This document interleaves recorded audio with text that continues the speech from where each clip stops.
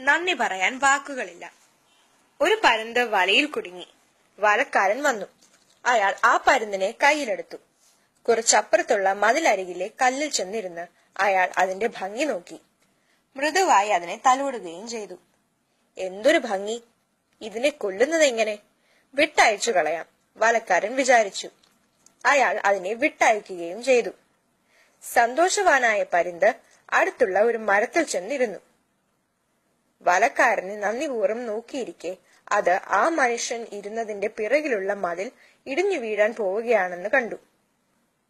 ക്ഷണനേരത്തിൽ പരുന്ത് അയാളുടെ തലക്കെട്ട് കൊത്തിയെടുത്ത് പറന്നുപോയി. വലക്കാരൻ ക്ഷോഭത്തോടെ പെട്ടെന്ന് എഴുന്നേറ്റു. ഒപ്പം തന്നെ പരുന്തിന്റെ പുറകെ ഓടുവാനും തുടങ്ങി. അപ്പോഴതാ പിന്നിൽ നിന്നൊരു ശബ്ദം. നോക്കിയപ്പോൾ താൻ ഇരുന്ന സ്ഥലത്തിലെ മതിൽ ഇടിഞ്ഞു വീണിരിക്കുന്നു. തന്റെ തലപ്പാവ് ആ പരുന്ത് തട്ടിയെടുത്തില്ലായിരുന്നെങ്കിൽ എന്തായിരിക്കും സ്ഥിതി? അന്തിച്ചു നിൽക്കുകയായിരുന്ന അയാൾ ഒന്നുകൂടി ഞെട്ടി. കഴുത്തിൽ എന്തോ വീണിരിക്കുന്നു. തന്റെ തലപ്പാവ് തന്നെ. പറന്നുപോയ പരുന്ത് തിരികെ കൊണ്ടിട്ടതാണ്. ദൈവമേ നന്ദിയും സന്തോഷവും അത്ഭുതവും കൊണ്ട് നിറഞ്ഞ അയാളുടെ ഹൃദയത്തിൽ നിന്നും വേറെ വാക്കുകളൊന്നും പുറത്തു വന്നില്ല. ചിലർ നിശബ്ദരായി നന്ദി പറയുമ്പോൾ നാം അത്ഭുതപ്പെട്ടു പോകുന്നു.